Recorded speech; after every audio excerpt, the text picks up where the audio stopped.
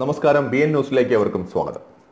ഗവൺമെന്റിന് കനത്ത തിരിച്ചടിയാണ് ജേക്കബ് തോമസ് വിഷയത്തിൽ ലഭിച്ചിരിക്കുന്നത്. സർവീസിൽ നിന്ന് പുറത്താക്കാനുള്ള സർക്കാരിന്റെ ശ്രമമെല്ലാം തന്നെ പൊളിഞ്ഞുവെന്ന് വേണമെങ്കിൽ പറയാം.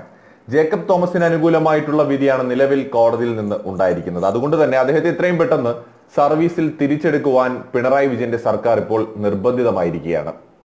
ഏതാണ്ട് മുപ്പത്തിരണ്ട് വർഷത്തിലധികം സർവീസുള്ള വ്യക്തിയാണ് ജേക്കബ് തോമസ്. അതുകൊണ്ട് തന്നെ സീനിയോറിറ്റി അനുസരിച്ച് സംസ്ഥാന പോലീസ് മേധാവി സ്ഥാനത്തേക്ക് വരേണ്ടതും അദ്ദേഹം തന്നെയാണ്.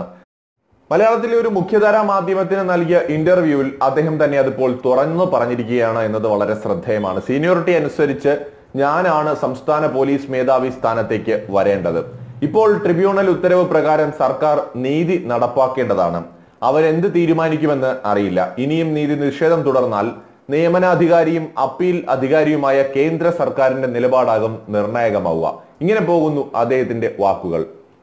ഈ അടുത്ത കാലത്തായി രാഷ്ട്രീയപരമായി ചില ചായ്വുകൾ പ്രകടിപ്പിച്ചിരുന്ന വ്യക്തി കൂടിയാണ് ജേക്കബ് തോമസ്. പ്രത്യേകിച്ച് അദ്ദേഹം ആർ എസ് എസുമായും അതുപോലെ ബി ജെ പിയുടെ രാഷ്ട്രീയത്തോടുമായി ഒരു കൂറ് പുലർത്തുകയും അവരോട് ചേർന്ന് നിന്ന് പ്രവർത്തിക്കുകയും പരസ്യ പ്രസ്താവനകൾ അടക്കം ഇറക്കുകയും ചെയ്തിരുന്ന വ്യക്തിയാണ്. അതുകൊണ്ട് തന്നെ അദ്ദേഹം വീണ്ടും സർവീസിലേക്ക് കയറുമ്പോൾ അത് പിണറായി വിജയനും ഇപ്പോഴത്തെ സർക്കാരിനും തലവേദനയായി മാറുമെന്ന കാര്യത്തിൽ യാതൊരു സംശയവുമില്ല.